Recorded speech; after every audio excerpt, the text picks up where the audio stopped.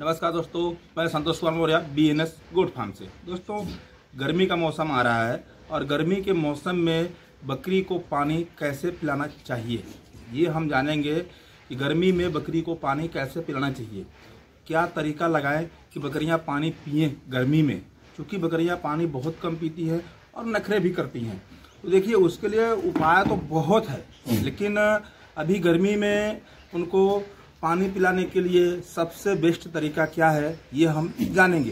जैसे कि देखिए, अभी सारे बकरियों को, कुछ बकरे बकरियाँ, बच्चे खुले हुए हैं, कुछ बैठे हैं, कुछ बाँध करके जो है उनको खिलाया जा रहा है। सभी को चारा डाल दिया गया, सब चारा खा रहे हैं। और हमारा बिल्डर इधर अंदर देखिए, बना हुआ है। और बात करते हैं पानी का। ये देखिए, हमने पानी रखा हुआ है। और इसी तरीका से, मेरे अक्सर आप वीडियो में देखते होंगे, आपको ये बर्तन बाल्टियाँ दिखती होंगी। क्योंकि इसी बर्तन में मैं इनको पानी पिलाता हूँ। तो हमेशा गर्मी के मौसम में सुबह आपको ताज़ा पानी रखना है, फ्रेश ताज़ा पानी रखना है। और दोपहर में भी ताज़ा पानी रखना है, शाम को भी ताज़ा पानी रखना है। हो सके तो रात में अगर बकरे बकरियाँ खुले हैं, जैसे छोटे बच्चे हैं तो भी आप पानी भर करके रखें ताज़ा। जिनको जब प्यास लगे, वो जा करके पी लें। अभी जैसे मैंने आपको दिखाया कि हमारी बकरियाँ बंधी हुई हैं क्योंकि इनको दोपहर में पानी पिलाया गया था, अभी इनको चारा डाला गया है तो ये चारा खा रही हैं। चारा खाने के बाद, अभी रात को ओस गिर रहा है बाहर, जैसे इस इस जगह पर। तो हम उनको यहाँ अंदर रखते हैं। तो पहले इनको पानी दिखाया जाएगा किसको पानी पीना है, वो जा कर के पियेंगे। उसके बाद हम उनको बाड़े में किसको बाँध के रखना है, किसको खुला रखना है, अपने तरीके से हम रखते हैं। तो जब भी बकरियों को पानी पिलाएँ तो ताज़ा पानी पिलाएँ।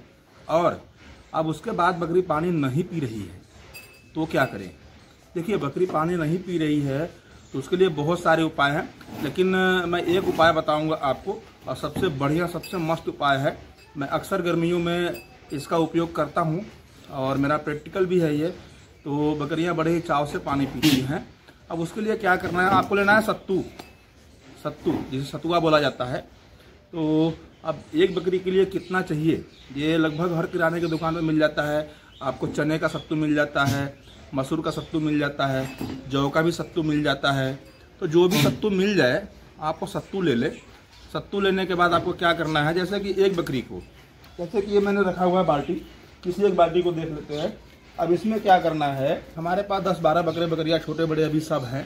तो अब इनको पानी पिलाना है।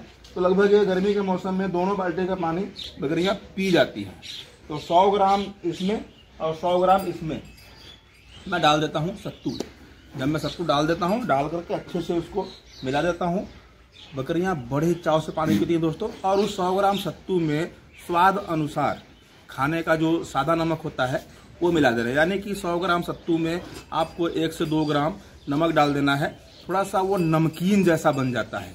जब नमक डालने से नमकीन जैसा बन जाता है, बकरियाँ बड़े ही चाव से पानी पीती हैं दोस्तों, और बकरी गर्मी के मौसम में जितना ही पानी पिएगी, उतना ही स्वस्थ, मस्त रहेगी। और उसको कोई बीमारी नहीं लगेगा। और बकरी हाँफेगी भी नहीं। आप लोगों ने देखा होगा कि बकरियाँ गर्मी में बहुत हाँफती हैं तो बकरी हाँफेगी नहीं। तो आप इस तरीका से गर्मी में अपने बकरे बकरियों और उनके बच्चों को पानी पिलाएँ। दोस्तों, थोड़ा जानकारी था जो मैंने आपके साथ शेयर किया। वीडियो देखने के लिए धन्यवाद। चैनल पर नया चैनल को शेयर करें, सब्सक्राइब करें। नमस्कार।